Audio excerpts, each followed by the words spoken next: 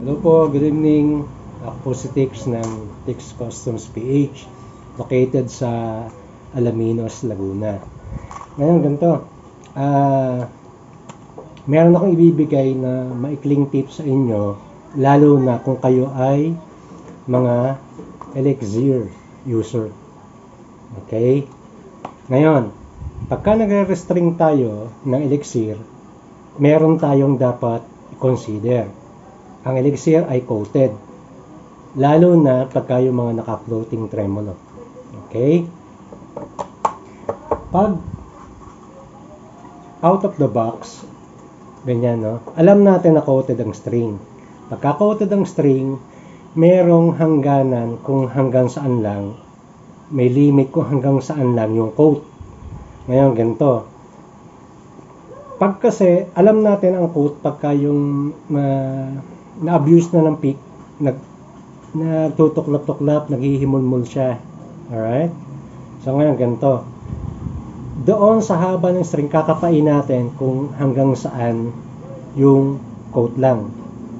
So, eto. Hanggang dito lang yung coat.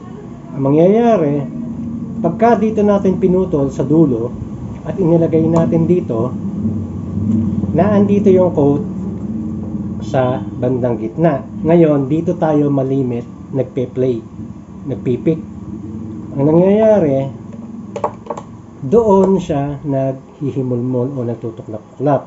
So, paano gagawin natin? Lahat yan. Kahit yung maliliit, ganun din. Kakapain natin siya, makakapa naman natin siya kung hanggang saan lang. Yon, eto, naramdaman ko dito, mahirap kasing i-close up kasi napakanipis lang nung coat niya. Pag nakapa natin na medyo may magaspang, that means hanggang dito lang yung coating ng elixir.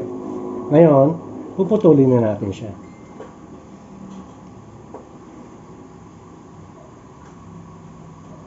Yun, ito. So, pag pinutol na natin dito, yon ang ipapasok natin sa dito kompleto yung coat niya. Hindi dito lang sa banda rito. Ito yung part na kakalawangin na nakikita natin. Ito hindi pa tapos nag-iimal mo. So yon. Gagawin lahat yon sa lahat ng string. Lalo na dito sa mga naka-floating bridges na gumagamit. Doon sa mga ano, sa mga doon pinuputol sa tuners, dito sa tuners dito, okay lang, walang problema yon. Dito ang concern natin. Okay, so I hope may natutunan kayo kahit konti. Salamat sa inyong lahat. Salamat sa panonood. As usual, it's customs,